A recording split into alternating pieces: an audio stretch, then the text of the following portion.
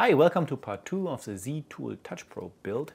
This is the final version right here. And I am going to test it today and show you the results. In addition, I'd like to show you that I have some drawings for you as well. You can download on my webpage.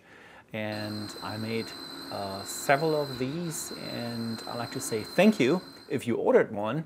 There were so many people that reached out and wanted um, a unit or a, probe actually that I decided to manufacture a batch of them and they are for sale on my webpage. Now, this one has the optical sensor, the Panasonic optical sensor that uh, you saw me test already in the prototype. However, I made yet an upgraded version. this here is a little uh, piece of awesomeness. It's all stainless steel. It has a hardened shaft. It has the bushing that I showed you last time but it has the high precision Metrol switch in that can sense or uh, has a repeatability under one micrometer. So I'm going to test this guy today as well and let's see how we do. There are a couple of things I learned building these and using them and one of them is that the bottom uh, would need to be made from steel. These, this one here is a prototype. It has a aluminum bottom, and what happened is that it catches dings and nicks just floating around your shop, and ultimately that ding will tilt the probe and tilt the touch plate, and that will make a difference in your readings. So there are two things that I did to avoid that. One is I gave the final version an aluminum housing, but a stainless steel bottom. That stainless steel bottom doesn't scratch as easy. And the other change I made is that the diameter of the tool sensing is much smaller on the final version so that you are forced to go to the center of the probe um, so that the tilting is not amplified. Before we go into the testing, I have one more tip for you. If you buy a probe, then make sure that you know how to integrate it into your machine, not necessarily with the cable connections, but on the software side of things you need a macro to run and to use it or a, a plug-in or some type of software that is for your machine, specific for your machine. So make sure that that is present and that you have that and you know how to use it uh, or how to get it integrated into, into your system before you purchase one. This is the Eding CNC screen. On the top right hand side you see the cursor in the blue field that is the work coordinate system. X, Y, and Z I have set to zero. And Z, of course, is of importance right now. The first button on the bottom left right there says probe tool. And it will execute a macro, and that will actually apply an offset to the tool length that is reported right now there in the screen with 39.188. Before the measurement, it always wants to have an estimated tool length. So I type in 35 millimeter. Probe comes down, touches, and goes back up and then reports the delta.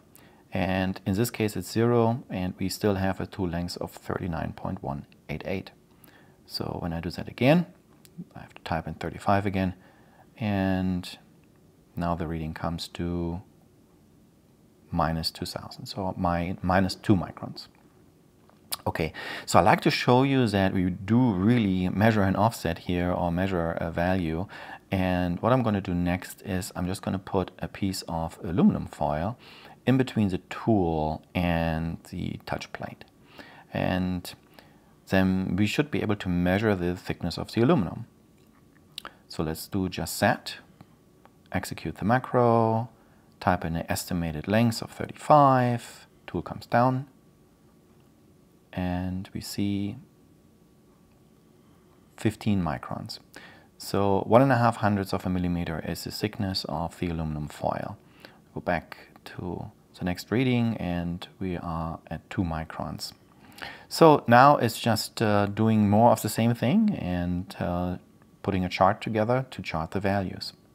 And that is what you see here. The maximum that I saw from zero was uh, minus five microns and plus two microns. So for a total span of seven microns. That changed quite a bit with the Metrol version that you see here. That actually came in, I think, with every single reading of zero. So my machine cannot measure a tool, um, uh, an offset difference or a variation. One more time to prove that we are actually measuring something here, I put on the aluminum foil and make a reading and it comes to also 15 thou. That was the exact same value we got with the other probe and that made me really, really happy to see that both of them agree to the thickness of the aluminum foil.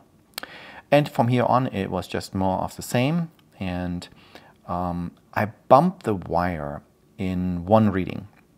That was just when the probe already sat down and it did make a difference. Actually, there was a delta of two microns. I don't think, I think that was actually an error on my side, but I nonetheless, I left it in the chart just to include it. So um, here it is, you see in all 20 measurements a variation of zero except one for two microns. So I'm definitely looking forward to using that probe. I also liked that both of them, so both designs agreed that the aluminum foil is 15 micrometers or 15 microns thick. I, that was a success for me.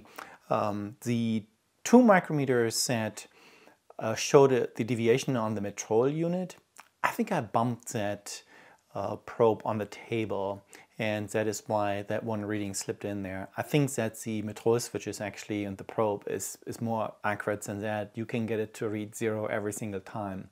However, once you start moving that probe around on your table, it's pretty amazing because you will find five thousandths off um, relatively simple and easily.